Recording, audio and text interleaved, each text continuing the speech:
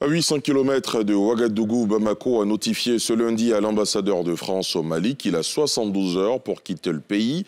Joël Meyer était convoqué à la mi-journée au ministère malien des Affaires étrangères à la suite de propos tenus ces derniers jours par Jean-Yves Le Drian, le chef de la diplomatie française.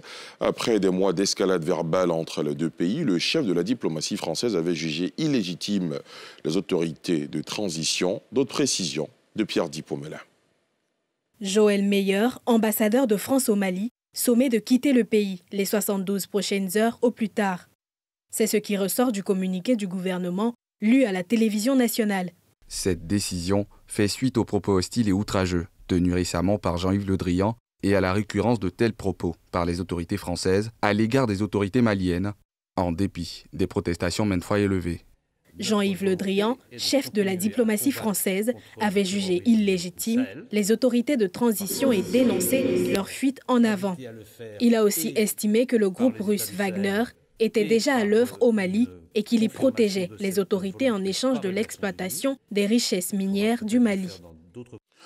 Dans l'actualité ici en Côte d'Ivoire, le président de la République Alassane Ouattara s'est entretenu ce lundi avec les membres de l'association des institutions supérieures de contrôle ayant en commun l'usage du français, présent à Abidjan dans le cadre de la 9e Assemblée générale de leur association.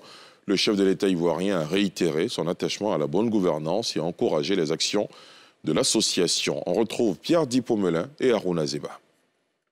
En marge de la 9e Assemblée générale de l'ESCUF, Association des institutions supérieures de contrôle, ayant en commun l'usage du français, qui se tient à Abidjan du 31 janvier au 1er février 2022, le président de la République, Alassane Ouattara, a reçu une délégation de l'association au palais présidentiel. Notre Assemblée générale, outre son volet formel, est ainsi l'occasion de travailler sur des enjeux d'intérêt commun nous avons ainsi réfléchi ensemble ce matin à la manière d'adapter nos méthodes et nos objectifs de contrôle de la dette publique à la suite de son gonflement provoqué par la crise sanitaire. Cet après-midi, nous travaillerons sur la prise en compte des objectifs de développement durable dans nos missions. Le chef de l'État a souligné l'importance de la Cour des comptes dans la gouvernance des États et la nécessité pour cette institution d'avoir un regard objectif sur la gestion des budgets. Les institutions telles que la Cour des comptes doivent euh, continuer d'avoir un regard, euh, je trouve, objectif et, vraiment sévère sur la gestion des budgets. Ici, nous, nous prenons toutes les observations de la Cour des comptes parce qu'elles nous sont utiles euh, et nous estimons que c'est la bonne gestion budgétaire qui est le départ de la bonne gouvernance dans les finances publiques.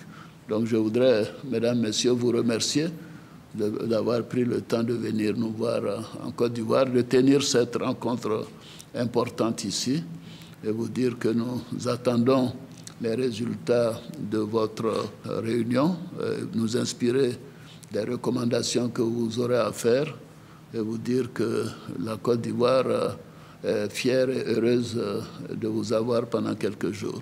La délégation était conduite par le président de la Cour des comptes de Côte d'Ivoire, qui assure aussi la présidence de l'ESCUF depuis 2018. Le contrôle de la dette publique et la mise en œuvre des objectifs du développement durable sont les deux thèmes principaux qui sont débattus lors de cette 9e Assemblée générale de l'ESCUF.